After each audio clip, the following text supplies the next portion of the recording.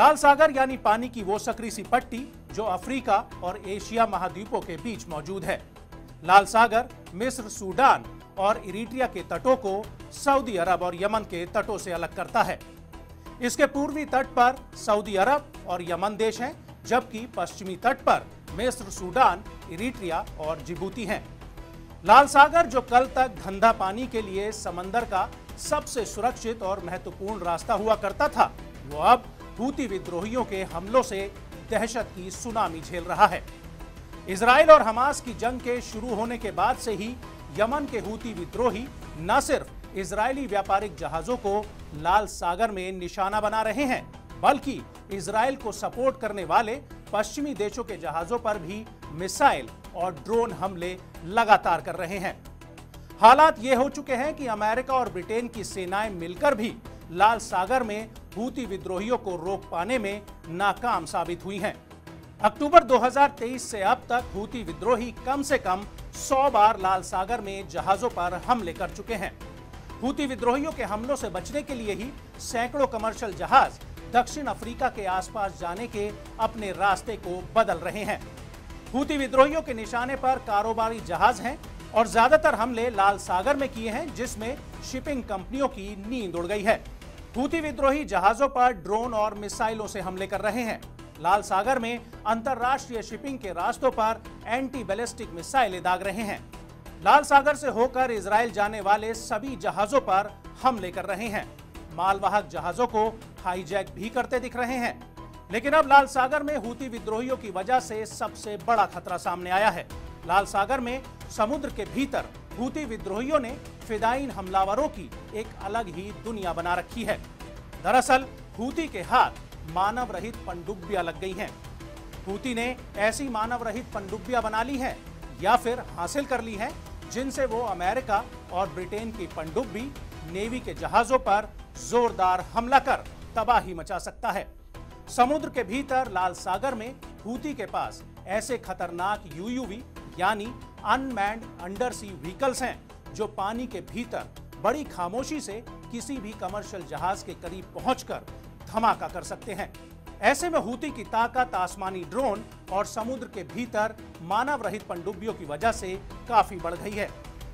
पानी के भीतर यूयूवी की वजह से अब एक बड़ा खतरा लाल सागर में कमर्शियल जहाजों पर मंडरा रहा है और लाल सागर में संघर्ष के तेज होने की आशंका काफ़ी गहरा गई है।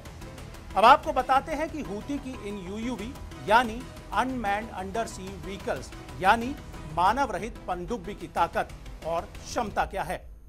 हूती के ये समुद्र के भीतर चलने वाले ड्रोन्स भले ही किसी पनडुब्बी की तरह घातक नहीं है, लेकिन ये समुद्र के भीतर और ज़मीन के ऊपर भयानक नुकसान करने में सक्षम है।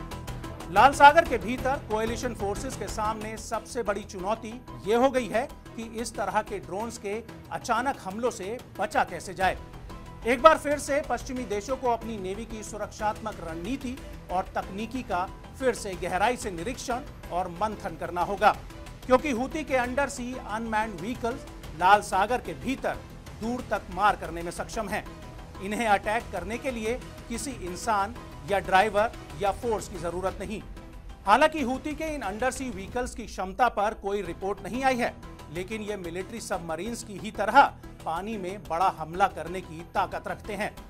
ये यूयूवी अपने साथ में माइंस, बम, टॉर्पीडो और विस्फोटक ले जा सकते हैं, जो कि किसी भी जहाज़ को बड़ा नुकसान पहुँचा सकते हैं। ऐसे में समुद्र के भीतर से निकली इस नई चुनौती और खतरे से निपटने के लिए दुनिया भर की नेवी सेनाओं को जंग लड़ने के तरीके में भारी बदलाव करने होंगे।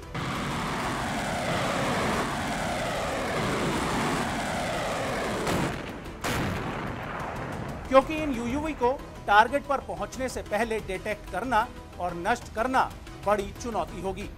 ये दूसरे मिलिट्री ड्रोन्स की तरह समुद्र के भीतर टारगेट गाइडेंस से लैस नहीं होते हैं। इसके बावजूद, ज़मीन और आसमान से खतरे को तुरंत भांपने और जवाब देने वाली नेवी सेनाओं को समुद्र के भीतर इन खुफिया यूयूवी को पहचानना और पलटवार करना आसान नहीं होता है। सोनार सिस्टम और अंडर सी सर्विलांस सिस्टम से भी इनको ट्रैक करना आसान नहीं है। ये दबे पाँव हमला करेंगे, नष्ट भी हो गए तो हूती का कोई नुकसान नहीं। नष्ट होने के पहले किसी बड़े कमर्शियल जहाज़ को एक बड़ा घाव दे देंगे।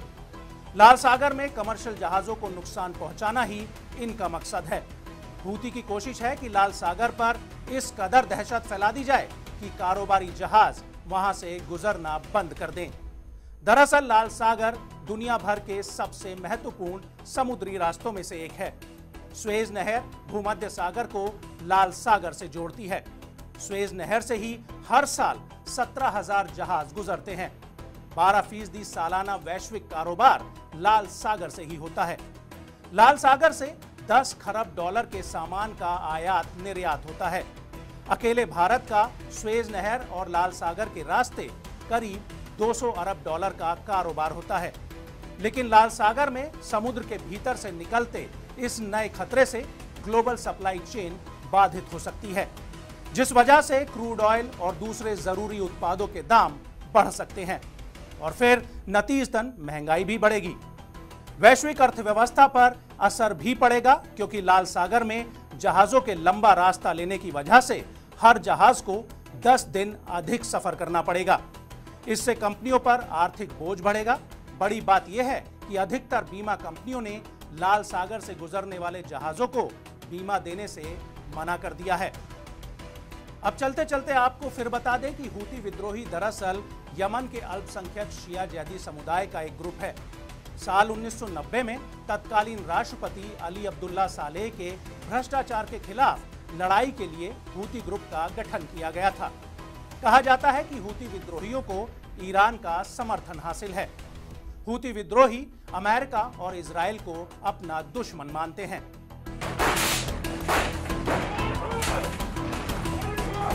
冲冲